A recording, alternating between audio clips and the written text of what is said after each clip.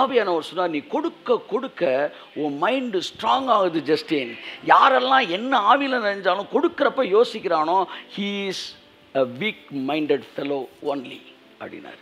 என்னால் அது ஜீரணிக்க முடியல. அவன் எவ்வளோ பெரிய ஆளாக இருந்தாலும் அவன் வீக் மைண்டட் ஒன்லி ஏனென்றால் கொடுக்குறவன் தான் அவன் ஸ்ட்ராங் மைண்டட்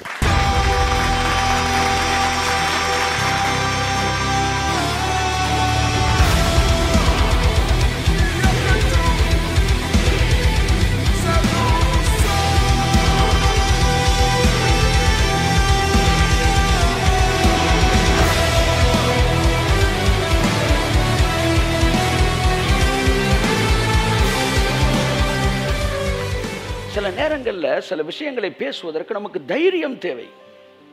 ஆதி அப்போஸ்தலர்கள் தைரியமாய் பிரசங்கித்தார்களாம். அப்ப தைரியமாக பிரசங்கிக்க முடியாத காரியங்களிலே ஒன்று என்ன தெரியுமா? காணிக்க. அப்போ ஒவ்வொருத்தரையும் நான் வேண்டாண்டு வரை பேச மாட்டேன் என்பது இதை பேசணும். ஏன் தெரியுமா பேசணும் அப்படின்ற சொல்லுவார் பாருங்களேன் அது மெசேஜ் ஆயிரும் எனக்கு. இப்படி ஒவ்வொரு தடவையும் எனக்கு நான் பேச மாட்டேன் பேச மாட்டேன் போது நீ பேசணும் பேசணும் என்று சொன்னபோது அவர் சொல்ல சொல்ல தான் ஓ இதில் இவ்வளவு முக்கியம் இருக்கா? இதில் இவ்வளவு மாற்றங்கள் ஜனங்களுக்குள்ளே ஏற்படுதா? அப்படின்னா நான் பேசுகிறேன் ஆண்டவரே அப்படின்னு பேசுகிறது ஸோ நீங்களும் அதை கற்றுக்கொள்ள வேண்டும். ஏன் இந்த விஷயங்களை குறித்து பேசுகிறோம் என்பது? ஒவ்வொரு முறை இப்போ தொடர்ந்து கத்தர் என்று சொல்கிறார் தொடர்ந்து நீ ஒரு மாதம் ரெண்டு மாதம் ஒரு 15 மினிட்ஸ் நீ இதை பேசணுன்றார் ஆமேன் அவர் பேசணுன்றார் நான் பேசிட்டு தான் இருப்பேன். அந்த அரண் உடையிற வரைக்கும் நான் பேசணும். ஒரு விஷயத்தை தெரிஞ்சுக்கங்க. கெனத் கெனத் ஹேகின் ஒரு முறை வந்து அவர் ஒரு பில்டிங் ஃபண்டை பற்றி பேசினப்ப ஒரு அம்மா வந்து ஒரு ஆஃபரிங் வந்து கொடுத்துச்சான் அந்த ஆஃபரிங் அந்த அம்மாவோட சாப்பாட்டுக்கான ஒரு விஷயம். அதை வாங்கினவர் அவர் சொன்னாரா அம்மா இது வாங்கவே என் கையை இதாகுது கூசுது. இது நீங்கள் கொண்டு போகணும் இல்லையா நீங்கள் வந்து தேவனுக்கு கொடுத்தா தேவன் திரும்ப கொடுப்பான்னு சொன்னீங்களா இல்லையா? ஆமாம் அப்போ நீங்கள் அதை நம்புறீங்களா இல்லையான்னு கேட்டுச்சான் சொன்னாங்க சரி ஓகே. நான் அதை நம்புகிறேன் இப்போ நான் வாங்கிட்டேன். உங்களை தேவன் ஆசிரியப்பார் சரியா? இப்போ நான் கொடுக்குறேன் வச்சுக்கோங்க. இது நான் கொடுக்குறேன் நானா? உன்னை அம்மா சொல்லிச்சேன் இல்லைங்கய்யா நான் கடவுளுக்காண்டி கொடுக்குறேன். நீங்கள் எதுக்கு வேணான்னு சொல்கிறீங்கன்னு தெரில இல்லை அந்த அம்மா கஷ்டப்படுது. அப்படின்னு நினச்சிட்டு ஒரு திரும்ப கொடுத்துரு அந்த அம்மா சரிங்கன்னு வாங்கிட்டு போச்சான் போகும்போது கர்த்தர் சொன்னாராம் இது நாள் வரைக்கும் இந்த அம்மா ஏன் கஷ்டப்பட்டுச்சு? அப்படின்றதுக்கு காரணம் ஆயிரம் இருக்கலாம். ஆனால் இனிமே அது ஏன் கஷ்டப்போ போகுதுன்னா நீ தான்டா காரணம்டாராம் உடனே அந்த மாமான் கூப்பிட்டாரான் திரும்ப. காணிக்கை கொண்டாங்கன்னு வாங்கினான்.